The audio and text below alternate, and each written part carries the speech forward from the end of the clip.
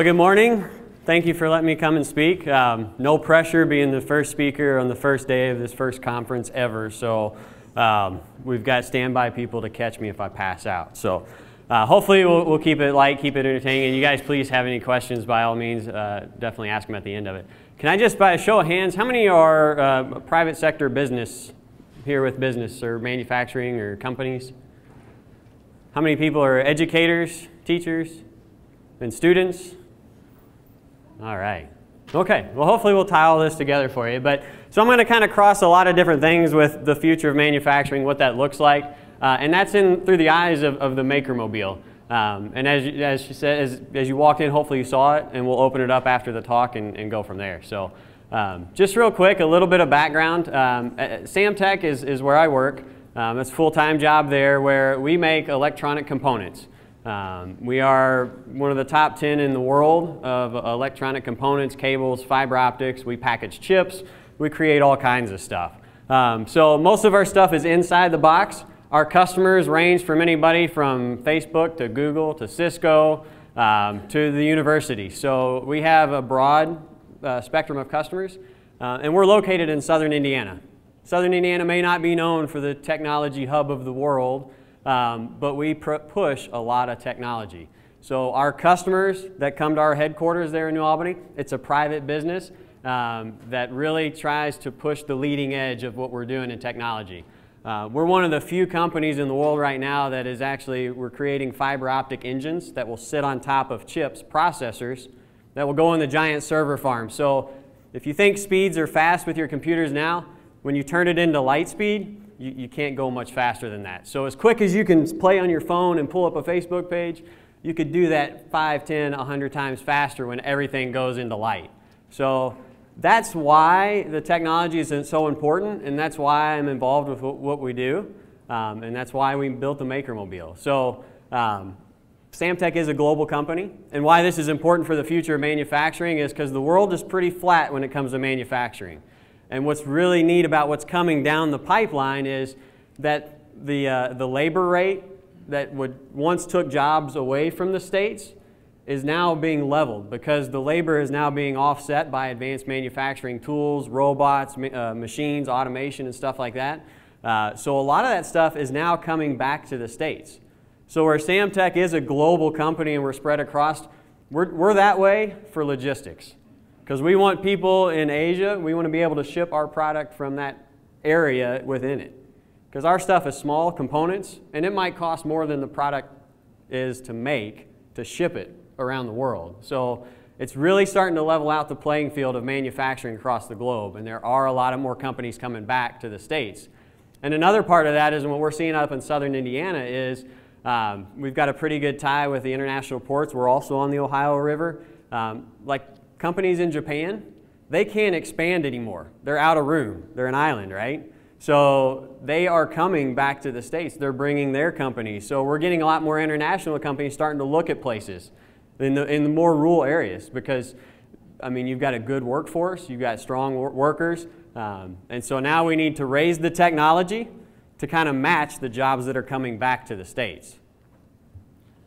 So why is manufacturing uh, and technology important? Um, especially here in kind of the Midwest, uh, around the, the, Ohio River and, and such, uh, we are some of the biggest manufacturing powerhouses.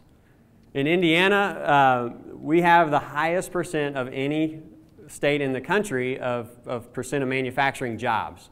Kentucky's up there in the top 10 as well. Um, and so of the 100, you know, of the 200 something plus thousand jobs, and this was from a, a, about a year and a half ago census, um, you know, half of those are in this eastern side of the state. So there's a decent amount of manufacturing here, and so now you have a good base to build on. So hopefully these companies will start looking and coming back. Now you've got to have the education and the technology to back that. So kind of how all this comes together, and I'll bounce around a little bit and try to tie this together, is um, to get the, uh, the, the future of manufacturing, we have to have that foundation. We have to create the educational foundation that ties into the manufacturing. And then we have to get that access. We have to give that access to the future workers, the kids, the, the students, and all that. So where you have the ability to have those tools in your hands so that you know how to work with this technology and then you can improve it, you can change it. Then you take your imagination, that turns into innovation, and then it turns into machines and manufacturing and advanced manufacturing. So you have to have that support, and that's what this conference is all about, is to kind of expose you guys to different technologies, the emerging technologies, and what's coming down the line and what you guys could see here in the future, um, and to get you excited about it, because it really is, there's really cool stuff happening out there. So part of that, as technology changes, as manufacturing changes, the tools evolve. Everything changes. So she already mentioned the 3D printers, and you'll see some of those out there. And what we say is don't go too fast there. Um, there's a saying out there, and I think it was coined to JFK, but it came from another history. But a rising tide lifts all ships. So as technology advances, it's going to continue to push the technology. It's going to continue to push all the private sector, all the businesses, everything on, on its way. So as new things get introduced into the manufacturing and technology, then everything changes. And I'll show you some examples of that here in a little bit. So what is advanced manufacturing? The definition changes all the time. This is the official government uh, definition. Um, I can send this to you, you can read it later, but what it really means and what we say in the Maker Mobile is you're just using really cool equipment to make stuff. That's what advanced manufacturing is. So you could go back to the big long definition, and again, that changes based on the time period and based on what's available. Um, but really, it's after just making stuff with really cool equipment and having that equipment do all the work for you. So what is the Maker Mobile? Why is it important? Why are we here? What do we do? Um, as you saw as you came in, hopefully, it's a, it's a giant modified car hauler.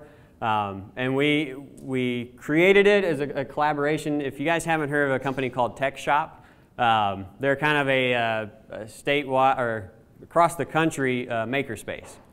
And so what that is, is a, a makerspace is somewhere where somebody can come in as a member, like the YMCA or something like that. Uh, and instead of working out on uh, like a treadmill or bikes, you're working out on lasers and 3D printers and technology and stuff like that. So it's, it's a full wood shop, metal shop, all that stuff. And that's really what we're building out in southern Indiana. So my wife, Christy, and I, and, and another couple, another engineer, um, we're building out the same model in southern Indiana. Um, so the Maker Mobile is kind of the front runner of that. It's to get out into the community um, and really just reach different pockets of the community and, and, get people excited about this future in making and, and manufacturing. So we had, we were, uh, we were blessed with a couple private foundations that uh, put in money to create this. And so when this all came together, this wasn't part of a grant, this wasn't part of an education system, this was people in manufacturing and people in community foundations that said, hey, there is, there is a lack of technology. There's a lack of this uh, skilled labor and, and skilled workforce coming up through schools. How do we get them excited about that? It takes the school system sometimes a little too long to get technology back into the schools. By the time it goes up and gets curriculum built back to the schools, you might be too late. So the private foundations got together, uh, they put up the money, and in less than two months, they, uh, they said, we want you to debut at the Idea Fest up in Louisville uh, back in 2014, uh, and they gave us two months to do that. So in two months, we got the trailer, we, we, we designed out the trailer and built it out, and hopefully you like what you see when you come out there. Um, but we do tie into um, our community schools and, and um, community tech schools. Uh, we tie into them as well because that's the outlet of who comes on the trailer, who comes on the Maker Mobile, where do they go for that education? We need to be able to point them to places where they can get that education and get those degrees, get those uh, certificates or whatever they need. Um, so it's a big community involvement, a community tie, and this just drives around to all of them. So if a school can't have a makerspace or if a, a community doesn't have a space like that or a, or a shop, most of the schools in southern Indiana and Kentucky have done away with shop class and home ec. And so kids aren't even exposed to this stuff. And so the future of shop class may look completely different if it does come back. And hopefully it'll look something like what we have on the, on the trailer. So our mission is just to expose the community to this stuff. So we drive around, we want to get as many people excited about it and plugged into where they can even learn about it um, and, and, get their hands on the tools. Um, because once you have your hands on the tools and see how easy it is to run the tools, um, the, the, point of entry and the, the, um, the, the, the, skill classes that you need is, is, is gone. Uh, it's all right there in front of you. So we do, yeah, we, we drive around to the schools, any age. We've been down to elementary schools, middle schools, high schools, colleges. We've been to craft shows. We've been to weekend farmers market type of things. Uh, anybody has access to this stuff. So the same older gentleman that has a little craft booth at a, a farmer's market, we can have them running a laser in like 20 minutes. And then they can take what they've been making in their craft in their booth for so long and add something to it. Take it to that next level. Or we can take it to an elementary school or a Cub Scout uh, pack. Um, I think we built maybe 50 to 100 Pinewood Derby cars. We laser etched all kinds of stuff. We put laser flames down the side of these Pinewood Derby cars, and they were way over engineered to roll down the track. But the kids had a great time. They were actually the ones pushing the buttons on the machines and, and, and, and doing all this for their, their Pinewood Derby. So this is just a quick little list, and, uh, and again, we want to invite you guys out to see this stuff, but um, on board we have a couple lasers, the CO2 lasers, uh, a couple 3D printers, a ShopBot uh, is a CNC router, so it's just a computer-controlled router. Um, the, the workstations, we have everything is run off of just laptops. Uh, a lot of stuff you could even run, you could send files to from your cell phone if you really wanted to. So there is no programming secret uh, class that you have to take to run this stuff. Uh, it, it is just as easy as you know uploading a file on your phone, sending it over to the, the machine, and hitting go. So uh, we also have soldering irons and, and, workstations and stuff like that to where we can actually do electronics and solder stuff up too if we wanted to. So maybe next year for the Pinewood Derbies, we'll start soldering up LED headlights and stuff like that. And I, I don't know if we'll be able to put motors on them, but we'll, we'll try.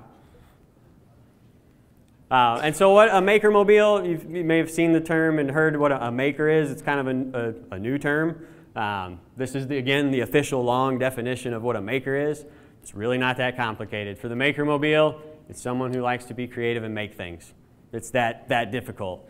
Um, so when we were starting to do all this stuff, I would, I would talk to my grandpa who's 92 years old and say, hey, there's this new thing, it's a maker. And he would just laugh because he said, you know, back on the farm, you had, there was no choice but to make things and repair things and fix things. And so we've, we've made, technology has been good. That's made it so easy access for all this equipment and tools.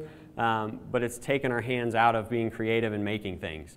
And so we haven't been kind of self-sufficient on, on how we create and build things. And so it's kind of a, uh, it's, it's riding the wave.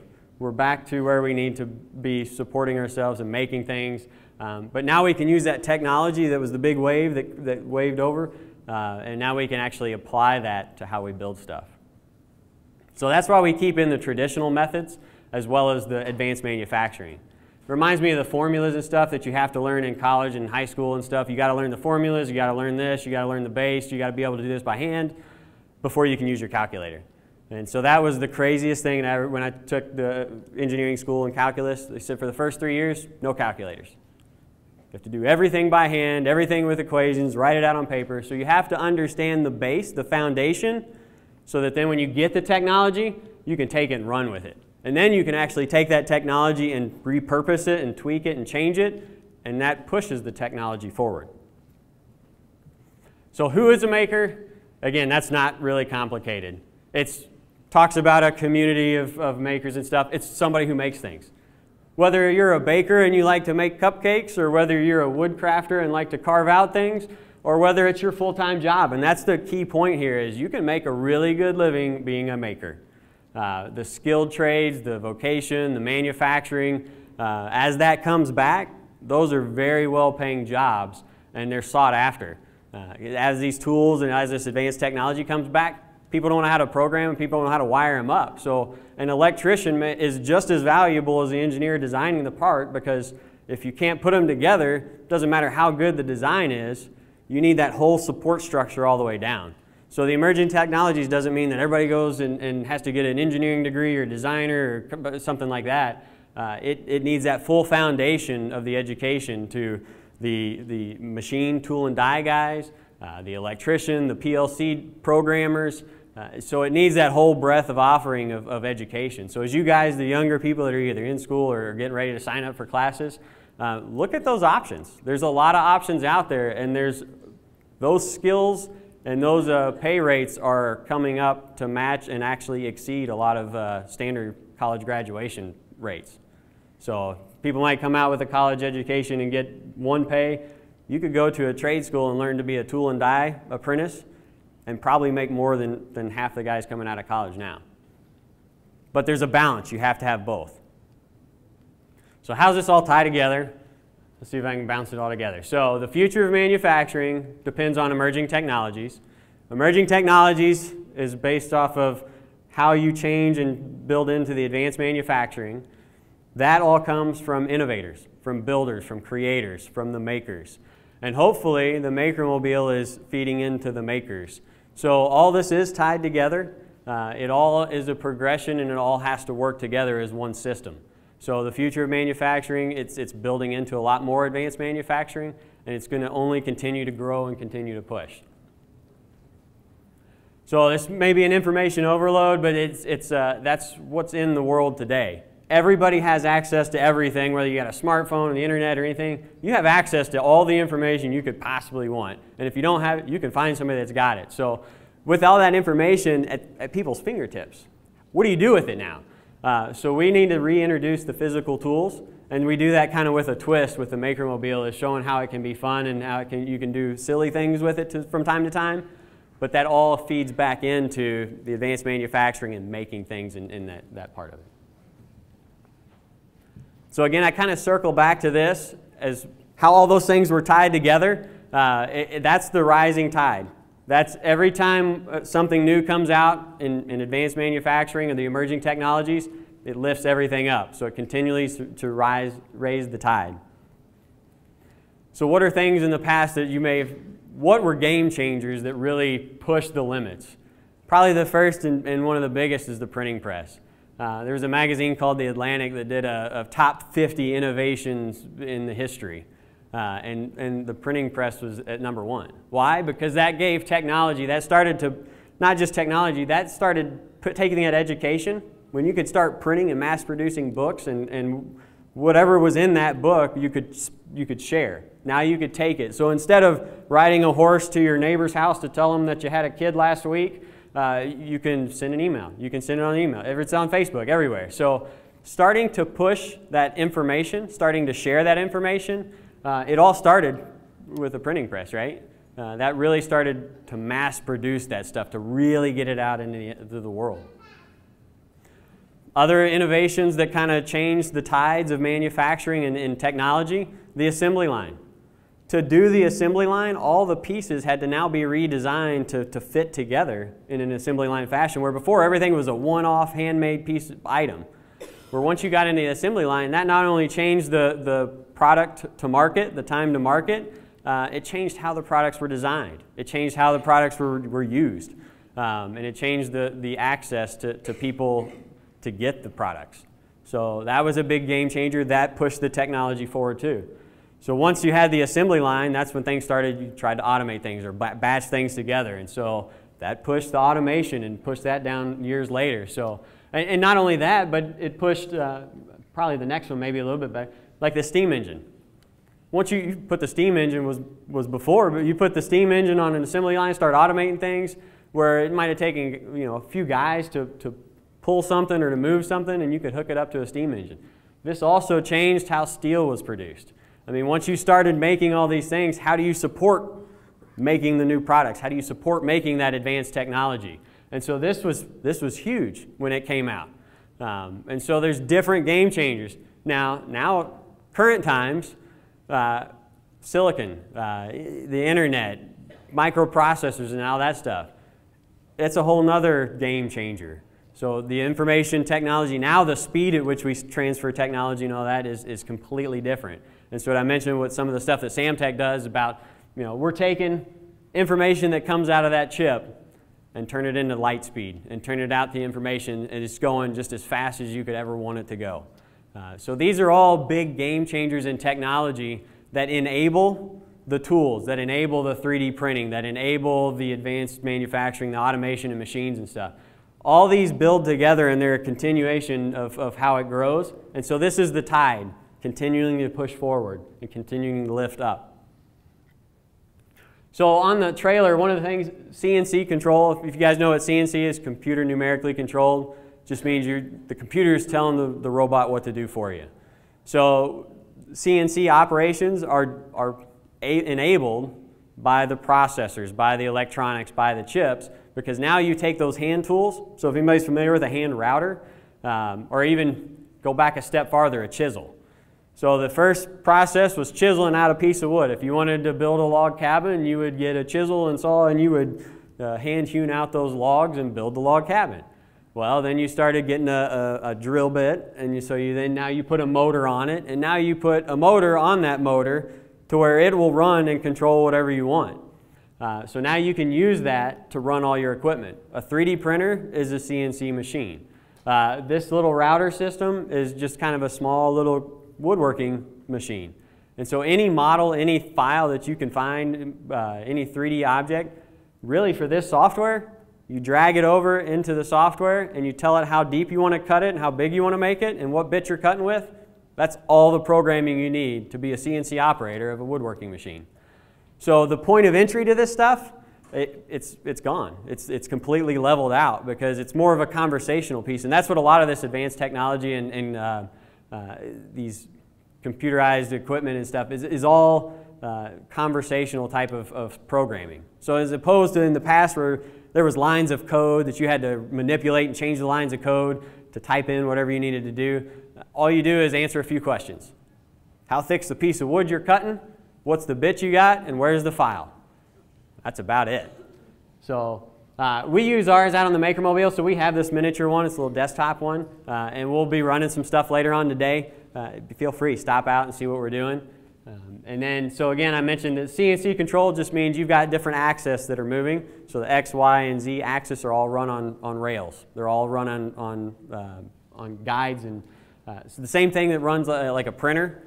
See the little ribbon running back and forth? you can take those off and put them on machines like this and run more or less the same thing. And that's kind of how the 3D printers work. So um, it'll be kind of hard to see, but I'll, I'll show you some examples of stuff where, if you can see this in the back. So this was done on our laser. And I'm going to show you this to guide into the 3D printing. And if you can see, this is all done out of cardboard.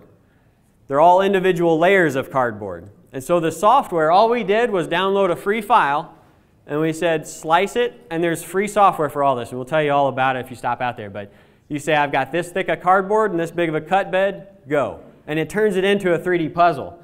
So a smaller form factor might look like just pieces.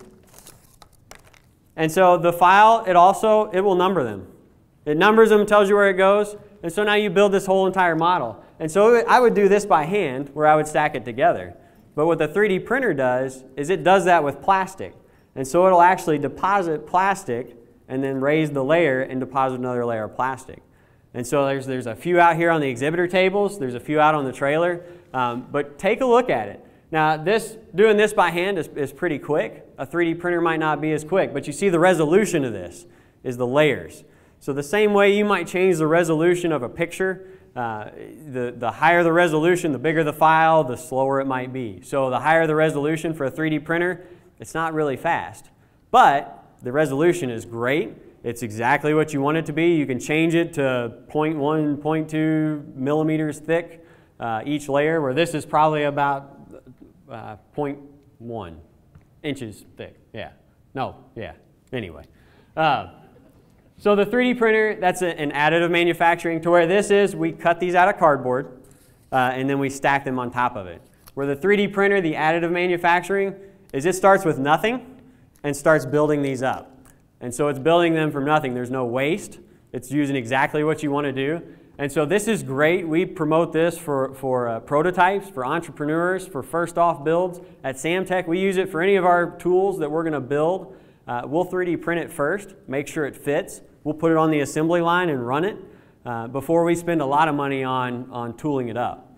So if, if a 3D printed part, it may take, say, four or five hours or maybe even 10 or 12 hours.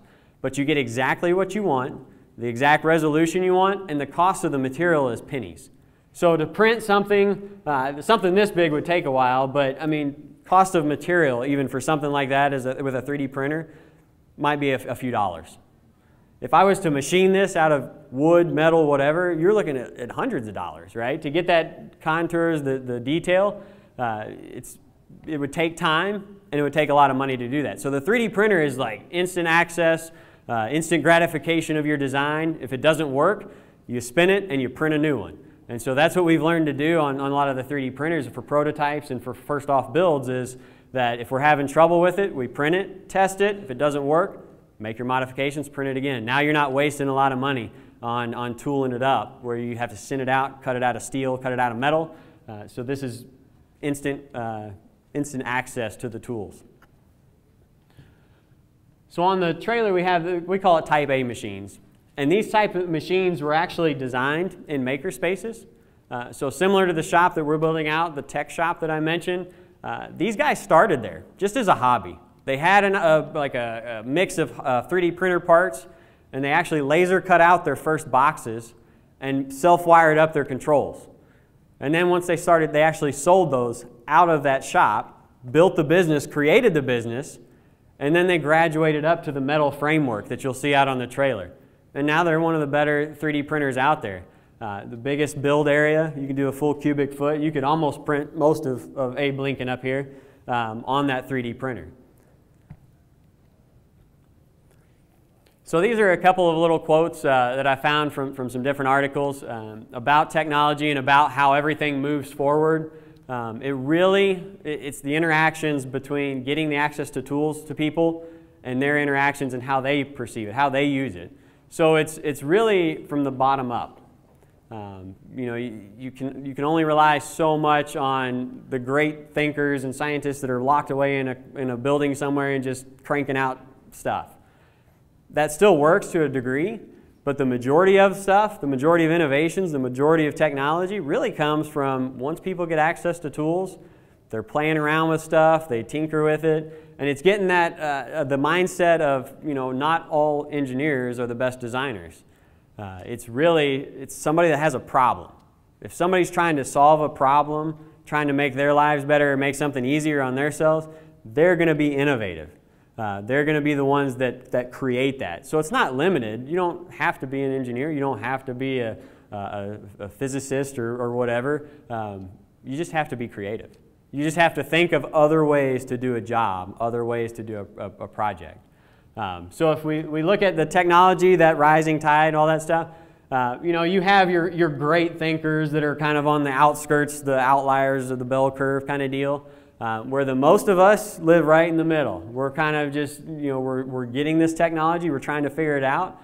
But what happens is the more people, more technology builds into that little bell curve, it, the whole thing's going to shift. And so that's where the rising tide shifts the whole technology curve. Uh, once you get access to these things, it changes how things are developed, it changes how things are built and designed. So, where do we go from here?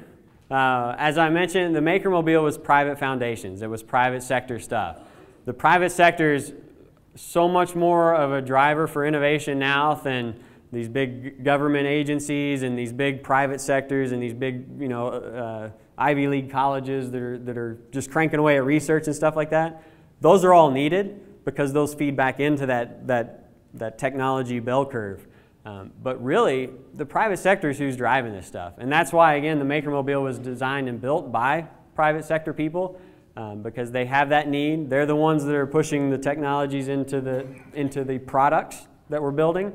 Um, and so it's going to be driven more by private sectors than it is through um, big, big agencies, more or less. But they do have to work hand in hand. So it's not one is better than the other, one is not. They're just different, and they work together hand in hand. Uh, so schools, they have to tie into industry. And that's what we try to do with the Makermobile again, is tie it back to manufacturers who use these tools uh, we, we love to partner up with a manufacturer and say, on, you know, we're here at this school on behalf of, of this company who uses these tools and will pay you very well if you get an education in these tools. Uh, and so we love to be able to connect that back and forth. And to get industry to come in and do talks and industry to come in and, and talk about what they're doing and what technology and breakthroughs are coming through at their doors, uh, that, that just spurs on and, and kind of um, justifies what you're learning in school. Had I known some of the things I was doing now when I was in school, I probably would have taken some different classes or paid a little bit more attention in some other classes. But you don't know that. And so that's why getting plugged into the industry and, and having that kind of cross pollination of, of what's actually being used hands on out in the field, um, that's so important. And so if you guys have a chance when you go to school, I, I would uh, advise you guys, if you can, take, do a co op or an intern or summer work at, at these companies. Uh, because now you get the application of what you're learning. Because it's, it's so much fun to sit in classes and just look at books and take tests all day long. It's the greatest thing ever, right? Uh, but when you actually get out into the field and you're like, oh, this is, this is kind of why I learned this, and now I can apply it to this, and now you have your hands in those tools and are actually building and changing what's, what's being developed. Uh, and so that's part of the, the, the project with the Maker Mobile as well. Get tools and technology in the hands of people everywhere. Again, I said we mentioned we, we went to uh, craft fairs, we went to flea markets and all that stuff. And so if, if something, as you guys build out your, your trailer, uh, your STEM trailer, uh, I would urge you guys, you know, don't just focus on, on the, the middle schools and high schools, but, but get everybody. And if, if you guys are, are, are lucky enough to, to get a makerspace or a community shop, you got to open it up to everybody. Uh, because you're going to get some knowledge from a, maybe an, an old school retired machinist that knows every way that you can build and cut apart. And if he's talking to an entrepreneur, he's going to give them insight on how to build something and how to do something that they may, they may have never thought about. And so that's what we're so excited about about the makerspace that we're building out in southern Indiana is the cross, the cross uh, culture that's coming in there, different backgrounds. You know, if we have teachers coming in, if we have educators, if we have machinists, if we have nurses and doctors, if we have students, everybody's going to see a problem a little differently. And so if you can have a community space where people can actually work together and talk together like that, um, or if you can take a trailer out to these places, uh, you'll find a lot more solutions to, to problems that you, you may not even known existed. Uh, so the create the community workspace. Uh, the, the trailer that you guys are building out, that, that is being built out here, is a great start. That's what we've seen with the Maker Mobile up in southern Indiana and, and northern Kentucky that we've taken it around to the past two years. People didn't even know that stuff existed. And so once you expose them to it, that's the forerunner of, of what you do next. So you're pushing that technology, you're pushing that curve, you're, and you're introducing that, and you're justifying these tools to be put into schools. A, a big problem is people get these grants and get five or six 3D printers in their school, but then they don't know what to do with them. How do you build that into a curriculum immediately?